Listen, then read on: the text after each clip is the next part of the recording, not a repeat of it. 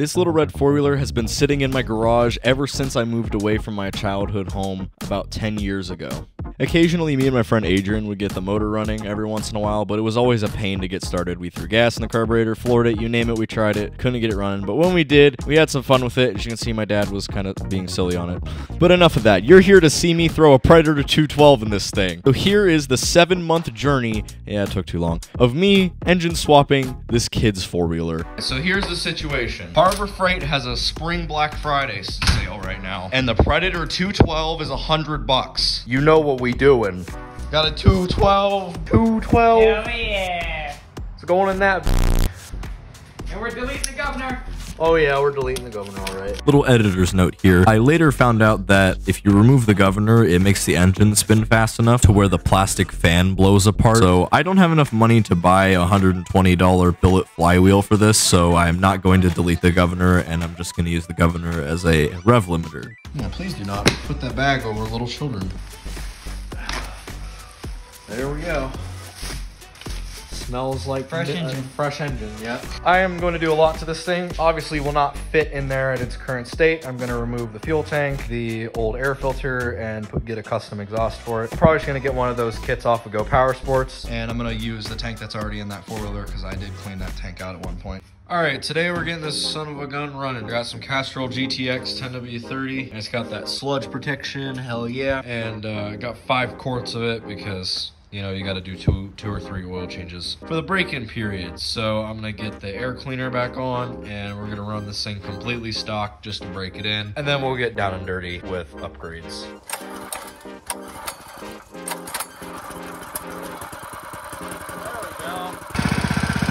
Breaking her in. I guess the grass is the best place to put it because it's not gonna rattle like hell on the concrete. It's just chilling. Sounds good. Change the oil like three more times. This is the first run. The break-in's done. Ran about four cycles of oil through it. And I'm loosening up the screw here just enough so that it's nice and loose. So we go.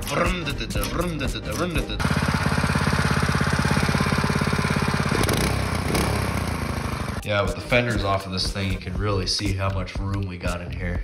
It actually kind of looks like a mini bike now. It does. Just ignore the front suspension. It looks like a mini bike. I mean, that's that's pretty much what the 212 is usually in, is in uh, mini bikes. So what now I'm gonna do is take the wiring harness out of it, just pretty much gut the entire engine out of it, and obviously the oil reservoir. Then leave, I'm leaving the fuel tank. Uh, although I might take it out when we're welding it to the frame. So it also will give me more room to see where I'm actually gonna mount everything up because the rear part here, as you can see, it's like shifted over to the left. So the chain has to go through this side. And the problem with that is the shaft on the motor is on the left. So I can't really do a simple chain and clutch system. I have to have a torque converter. And if I could reuse that torque converter, that'd be actually amazing. So I could slide it over or something and have the motor in there. It's definitely fitting in there.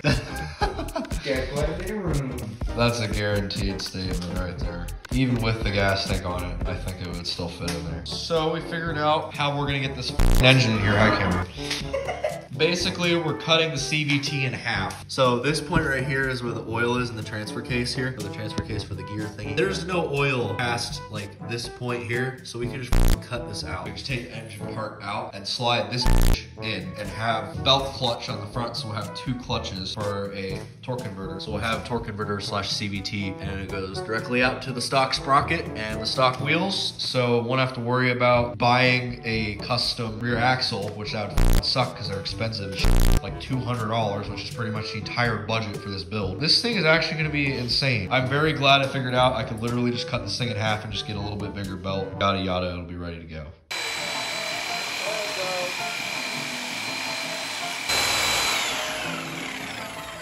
Hallelujah, got through it. That engine wants to fall. Yeah, the exhaust is still holding it in. You gotta get the exhaust out. NASCAR time. Yep, damn, look at that. Clean cut too. Yeah, it was. Came out very good. And no oil spillage. There is, there, the exhaust is out. Look at all the sludge in there. Oh, that's just the metal. That's not sludge.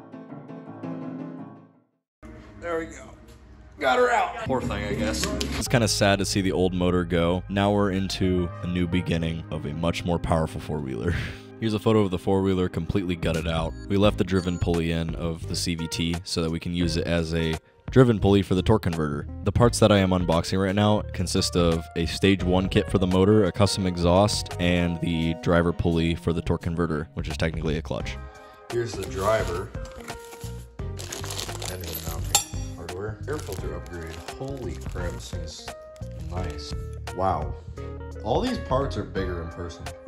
Actually, machined really nice. Okay, so we're gonna flip the whole thing around like this so that it's right here so that we're when we're on the bike like this we can pull it from here instead of having to reach like over here and pull it so you got more leverage to do it. Okay, there's the windy boy. Oh, it's making air noises. A lot more air noises. you can install it like in a lot of. Okay, so it was originally like this. Now it's gonna be. I think that'd be smarter straight up and down instead of like this. if it's like that, it's, you're gonna hit the air filter a lot. And then I'll be able to use the Cars and Cameras sticker. Shout out Cars and Cameras. And obviously Go Power Sports. So here's the engine in its current state. Got almost the whole entire stage 1 kit installed. Here's a huge time jump because I lost a lot of footage, but the motor is now inside of the four wheeler, getting close to ready to rip mode. The engine all welded in. Nice. Oh God. What are you doing? I seen you record and I go, fuck it. you gotta include that. I'm, I definitely am. including it. Now we gotta figure out what the hell we're gonna do for the belt. Da-da-da-da-da-da-da-da. Da-da-da-da-da-da-da-da. Da-da-da-da.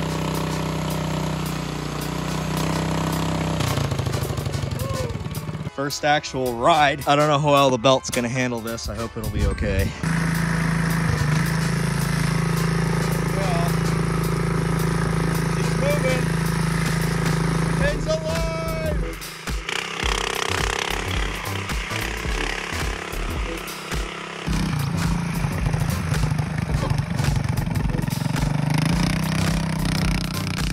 So I think the main problem with our top speed is this transfer box here. I'm gonna go ahead and find out the exact ratio by putting a piece of painter's tape on this part and over here so I can see how many turns on this side equals a turn on this side and that'll give us our X to one ratio. I'm pretty sure that's the problem. So if we make this a complete straight shaft out to the gear, it should do about 40 miles an hour. Theoretically. According to my little tape experiment, it takes 11 spins for that to spin one time. yeah, it sucks not having an impact drill, so um And yeah, Canada's on fire, so there's a bunch of smoke everywhere. And it's blue over here for some reason, but it's foggy over there, so that's fun. I just drove it around. The reason I'm so out of breath is because it can't take any torque. So what I did was I went down the driveway while the engine was idling. I hit the gas, I gave it all I could. It engaged and started moving. I think it hit like 10 miles an hour actually. It was definitely faster than with the old gear ratio. The belt is not designed for this. It's not designed to be for a continuously variable system. It's designed to be in a tractor like this and not a variable pulley system like this is. And that's why it's ripping it up. A cogged V-belt will be able to handle the torque load a little bit better. And what I'm hoping is it'll be able to move from a standstill. The new belt today, that's, I didn't expect that. We're gonna see if this works. Back to the drawing board. It didn't work. Still same problem. Decided that it looked better clean. It definitely does. The livery wasn't that great, but maybe I'll get like wrap or something, like a custom wrap. I don't know, but honestly, it looks better clean.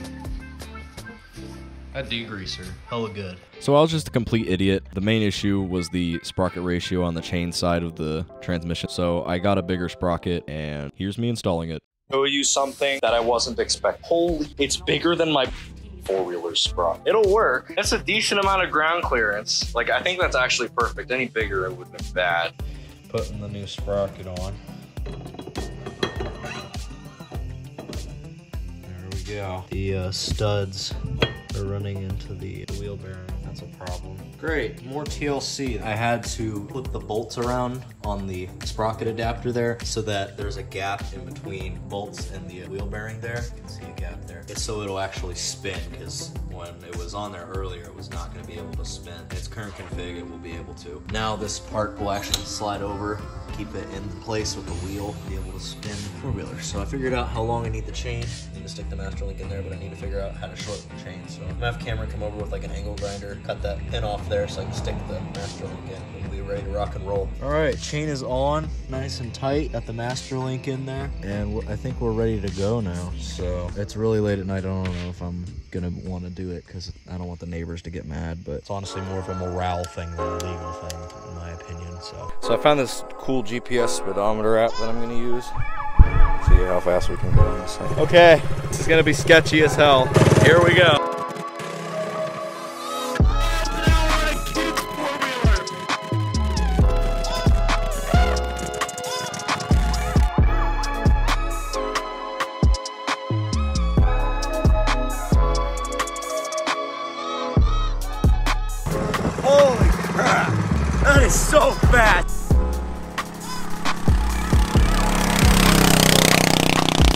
So we found out the four wheeler can actually go faster than 37 miles an hour simply because the belt that we have on it is too thick and doesn't allow the two plates on the torque converter to spread out as much and reach its maximum speed ratio. I know you're probably tired of hearing this on every single video on YouTube, but don't forget to subscribe so you don't miss our second speed run with the other belt.